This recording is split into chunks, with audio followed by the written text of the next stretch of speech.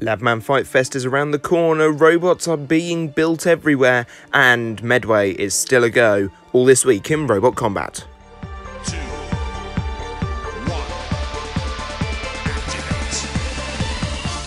Hello and welcome to This Week in Robot Combat. Thank you once again for joining me. Only a few stories to go through this week, so without further ado, let's crack on with them. Yes, and we begin with many, many, many, many builds all around the world, starting with Team Gruff, who showed off a plethora of pictures of their rebuild for the potential 2021 season. This is very exciting indeed.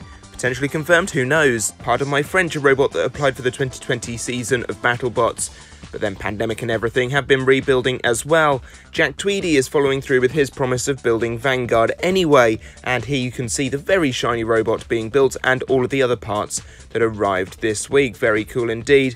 And more parts have arrived for a certain two-headed Death Flamingo. Very exciting to see this new version being built as well. Over in the States, Kraken have been building, seeing as they received a load of parts to build. Also, many, many teams building this week. So many, so difficult to keep up with. So that is why you watch the news. Enjoy. And with that lovely bit of self gratification out of the way, Team Deep Six have shown off a drive test of the new version, which looks very cool. I am loving this new design with the new single piece extenders out the back and front of the robot. It's a nippy little machine, and by little I of course mean flipping ginormous. P1 have shown off a new logo and new name for the robot, P1LM. Very exciting to see that. Jumping back across to the UK, and Team Asimov's Loophole have done it again. The team that has so far built replicas of Chaos 2, Recyclops, and Gemini, all in beetle weight scale, have now built a Stinger in beetle weight scale. This thing is absolutely awesome and I love it. Thwackbots are never easy at beetle weight scale, not to this high standard anyway. Very cool.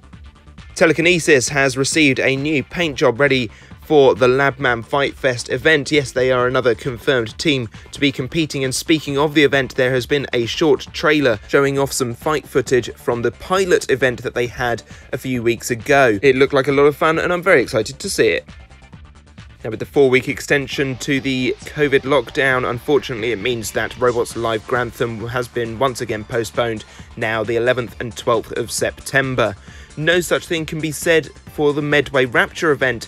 They are still on for a slightly reduced event in July. Only two weeks to go to that one. Very excited as that is where the Beetle Weight event will be happening. That will be hosted by myself over here on the World of Woodrow YouTube channel, a trailer for which is up on the channel right now, and you can find it in the end cards at the end of this video. Be sure to go and check that out. The official name, Chatham Challenge Belt 2021. And that's just about all for this time. I hope you've enjoyed this video. If you have, give it a like.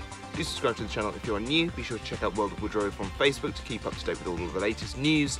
And we shall see you next time for more news. Bye bye.